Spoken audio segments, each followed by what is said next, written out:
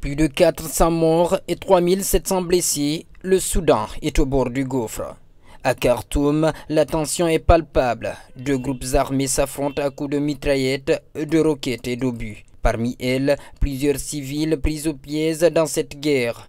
À l'origine des combats, deux hommes, Abdel Fattah al-Burhan, dirigeant de facto du Soudan, et son adjoint devenu son rival, le général Mohamed Hamdan Daglo qui commande les paramilitaires des forces de soutien rapide. Explosions, raids aériens et tirs n'ont pas cessé depuis le 15 avril à Khartoum, poussant à l'exode des milliers d'habitants de la capitale plongés dans le chaos. Ceux qui ne peuvent s'enfuir tentent de survivre, privés d'eau et d'électricité, soumis aux pénuries de nourriture et aux coupures d'Internet et de téléphone. Les deux camps s'accusent d'avoir attaqué des prisons pour faire sortir des centaines de détenus et de piller maisons et usines.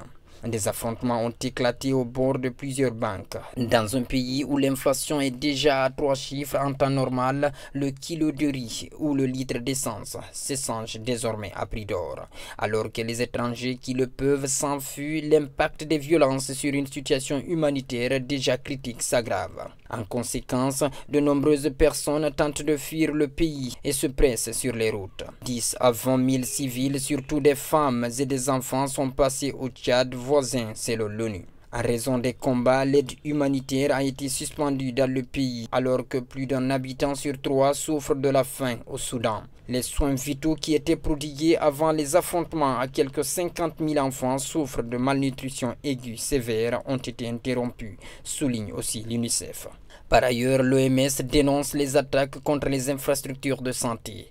Trois attaques ont pour l'instant été recensées par l'OMS, mais nous savons qu'il y en a bien plus, a indiqué une porte-parole de l'OMS.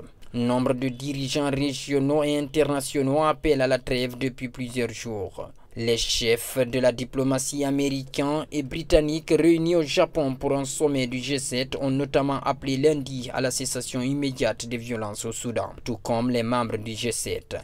Même chose du côté de l'ONU, le secrétaire général de l'ONU Antonio Guterres a condamné fermement les combats et a appelé lundi les deux généraux rivaux qui se disputent le pouvoir au Soudan à cesser immédiatement les hostilités. Après d'intenses négociations, ces dernières 48 heures, l'armée soudanaise et les forces de soutien rapide ont accepté de mettre en œuvre un cessez-le-feu dans tout le pays pour 72 heures, à l'issue de 10 jours de combats meurtriers.